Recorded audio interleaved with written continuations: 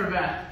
It's been a while. Okay, so uh, let's do one technique uh, from the back mount. They call this the rear triangle stranglehold or the rear triangle choke or the Ushiro Sankaku.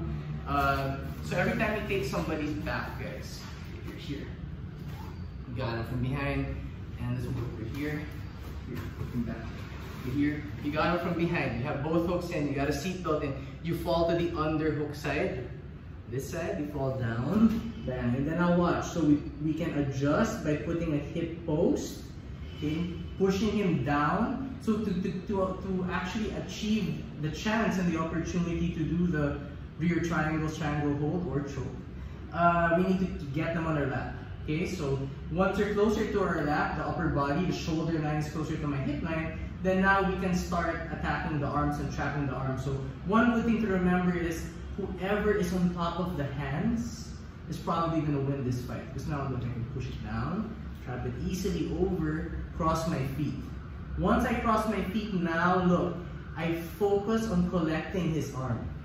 See, two on one, putting it near my chest. Now as I lay back away or pull his arm away, expand my chest, I open my top knee. And then my bottom knee starts to lift, to tilt him to the other side, like that. Okay, now we're gonna change the angle so you guys can see what happens.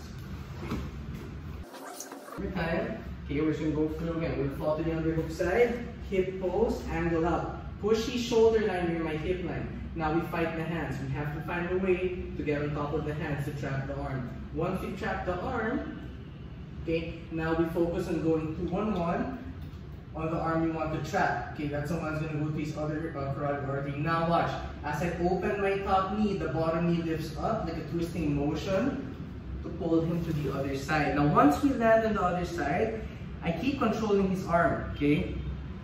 With my bottom arm now, my right arm. Now my top or my left arm holds my shin bone. Okay, that allows me to maintain a seatbelt on my opponent as I remove this leg to be able to move above his head to make the target smaller to, or to bring his arm closer to his neck. See, this arm is going to go to his carotid artery. My calf is going to go to the other side of the neck, to the, the, the other carotid artery. And then now I can lock my legs. So how do you lock the legs? Well, first you lock the initial triangle, then you pull everything up. Then you lock it, and down, now you do the squeeze. And he's gonna tap. Okay, so that's one way to do it. Okay, now the is gonna do it, so I'm gonna guide him through it. Okay, so we're here. So let's say, let's, we're gonna fall this way so you guys can see the lock even better. So uh, you're doing with this arm.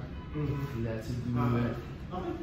Yeah, here? Okay, good. So say we fall this way. Boom, hip post, hip up. Yeah, so you keep pushing me down so my shoulder line is now close to my hip line. Mm -hmm. Then he's gonna proceed to trap my arms. Trap my leg, yeah, trap my arm to his leg, cross your feet now. Yes, the other way. It matters, guys, okay? So if you're trapping the arm, this arm, so my right arm is trapping this right leg, make sure your left foot's top. Okay, crossing, yes. And then out here, pull this arm back, go to one one, and pull to the chest. Perfect. Now open the knee, pull me up. Boom. Now as we land, okay, the right arm or his bottom arm, let's rotate. Let's move down. Move down. Okay, good. Now we're here. Your feet. So now look, his bottom arm, his right arm is going to keep dragging my my trapped arm, the isolated arm in the pocket. Now his left arm is going to hold his shin bone. When he does this, he can unhook this. So, but look, he's got to pull this tight so I don't swing my hand in. Okay, now fight the urge to pull your leg around. It's not gonna work. Pull it back. Pull your knee to your chest so that the calf muscle goes to the artery, like what he's doing right now. See how my voice changed? Now from here, go keep pulling it in. Okay, now from here, scoot up first.